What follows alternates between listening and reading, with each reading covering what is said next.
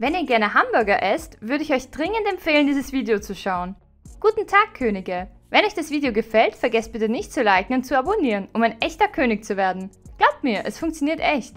Nummer 10 ist eigentlich gar nicht so verwunderlich, wenn man so darüber nachdenkt. Andererseits ist es einfach absurd. Bis zum Jahr 2003 war Kim Jong-il die einzige Person Nordkoreas, die E-Mails schrieb.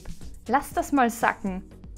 Nummer 9 handelt von der Geburt des Führers. Einer Legende nach hat ein doppelter Regenbogen Double rainbow. Oh my god. und ein neuer glänzender Stern über dem Baekdu-Berg Nordkoreas die Geburt des Führers in 1942 angekündigt. Fun Fact: Nordkoreaner glauben, dass der Geburtstag, welcher Tag des leuchtenden Sterns genannt wird, auf der ganzen Welt gefeiert wird. Wenn ihr, wie ich, keine Ahnung habt, wann das sein soll, es ist der 16. Februar. Nummer 8. Esst ihr gerne Hamburger?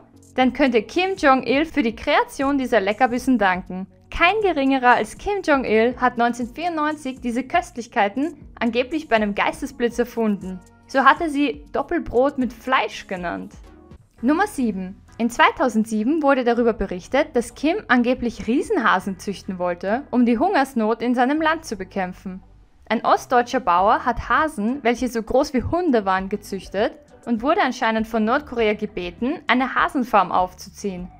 Es wäre schon irgendwie interessant zu wissen, warum diese Idee nicht weiter verfolgt wurde. Oder wurde sie das vielleicht doch? Nummer 6. Es ranken sich viele Mythen darüber, wieso Kim Il-sung und sein Sohn Kim Jong-il nur per Zug gereist sind. Manche meinen, das hätte sicherheitsrelevante Gründe.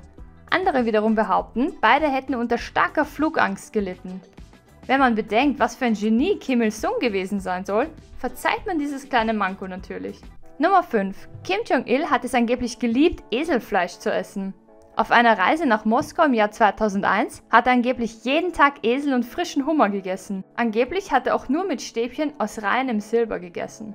Nummer 4. Wo wir gerade bei seinen Essgewohnheiten sind. Für zwei Jahre in den 90ern war Kim Jong-il der größte Einzelkonsument von Hennessy Cognac. Nummer 3.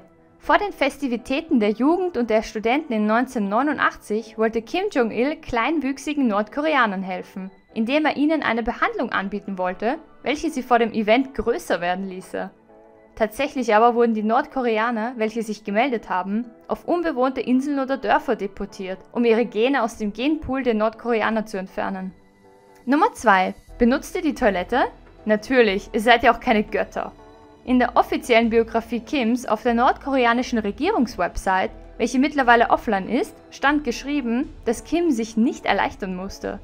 Diese These wurde später auch von Kang Chol-wan, einem Überlebenden aus einem nordkoreanischen Konzentrationslager, bestätigt. Dieser schrieb in seinen Memoiren Die Aquarien von Pyongyang, dass sie perfekte Wesen waren, unbefleckt von jeglicher menschlicher Funktion. Ich war überzeugt, so wie wir alle, dass weder Kim Il-sung noch Kim Jong-il urinierte oder sich erleichterte. Wer könnte sich sowas auch von Göttern vorstellen? Nummer 1. Kim Jong-il hat beim Bowlen angeblich den perfekten Score von 300 Punkten erreicht. Und das noch dazu bei seinem ersten Mal. Beim ersten Mal Golfen hat er 11 Hole-in-Ones geschafft, was ihn zum besten Golfer der Welt macht. Seine 17 Bodyguards haben diese Meisterleistung natürlich bestätigt. Leider hat er sich danach für immer aus dem Sport zurückgezogen. Offiziellen Angaben nach konnte Kim mit nur drei Wochen gehen und mit acht Wochen sprechen. Als er auf der Kim Il-sung-Universität studierte, hat er angeblich 1500 Bücher und sechs Opern geschrieben. Und das in nur drei Jahren.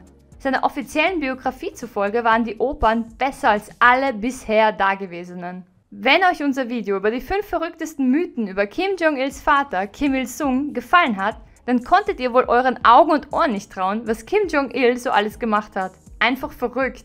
Danke fürs Zusehen. Wenn euch das Video gefallen hat, vergesst nicht zu liken und zu abonnieren, um ein echter König zu werden. Glaubt mir, es funktioniert echt. Schreibt uns außerdem in die Kommentare, welchen Mythos über Kim Jong-il ihr am verrücktesten fandet.